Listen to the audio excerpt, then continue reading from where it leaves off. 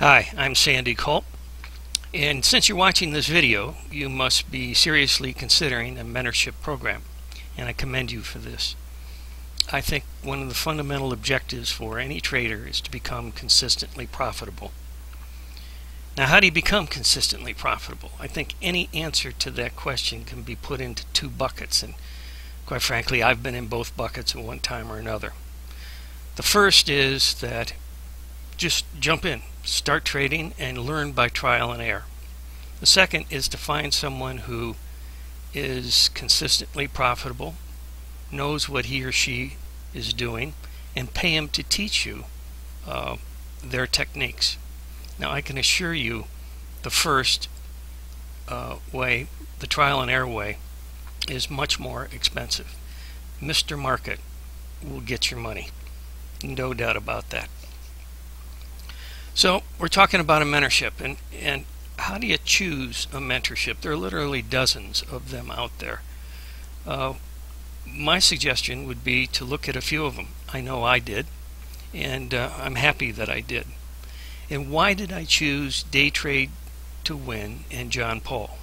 There's a handful of reasons. One is I asked people who I knew were successful and people who I trusted, and they gave recommendations and recommendations that I followed.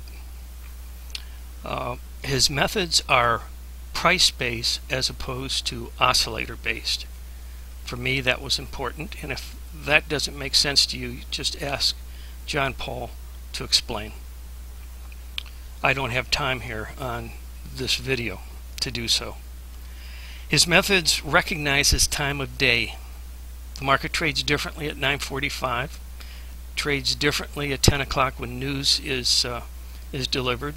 It trades differently at 12 o'clock uh, when everyone goes to lunch, and certainly after three when the bond market closes. He'll supply you with a handful of entry techniques that will be, you'll be able to find a few that are satisfactory all day long. Each one of them has something in common that they share. One is that you're given precise entry points, precise exit points, uh, and you're given stop values. Not every trade's going to be successful, and you do need an airbag when you uh, when you trade the markets. Uh, also, his reputation as an educator and as an ethical person was very important to me. I can recommend his mentorship without qualification. Everything he said it would be, he delivered on. This is Sandy Culp, wishing you all the success in the future in your in trading endeavors.